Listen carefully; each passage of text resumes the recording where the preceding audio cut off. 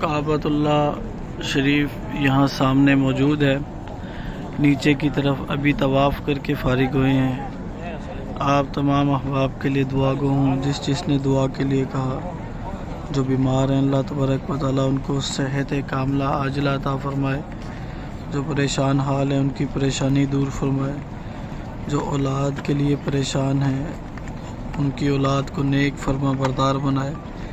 جو اولاد کے طالب ہیں یا اللہ ان کو نیک سال عافیت کے ساتھ اولاد نرینہ عطا فرمائے۔ جو بیٹوں کے طالب ہیں ان کو بیٹے، اور جو بیٹیوں کے طالب ہیں ان کو بیٹیاں عطا فرمائے۔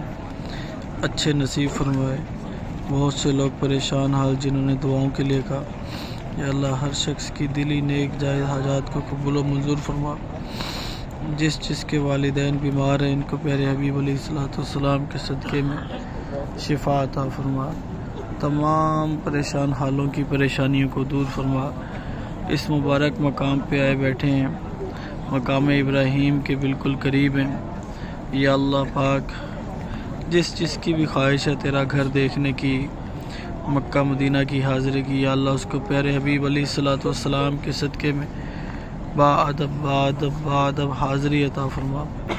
بہت سے عاشقان رسول حج اور عمرے کی سعادت حاصل کرنا چاہتے ہیں۔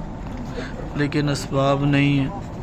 یا اللہ ان کو پیارے حبیب علیہ السلاۃ والسلام کے صدقے میں اسی سال حج و عمرہ کرنے کی سعادت عطا فرما۔ بالخصوص جن کے والدین بیمار ہیں، ان کو صحت والی، تندرستی والی، عافیت والی زندگی عطا فرما۔ جن کے والدین یا ان میں سے کوئی بھی اس دنیا سے رخصت ہو گیا، ان کو پیارے حبیب علیہ السلاۃ والسلام کے صدقے میں ان کی بے حساب بخشش و مغفرت فرما دے۔ صلی اللہ تعالی علی محمد صلی اللہ علیہ وسلم۔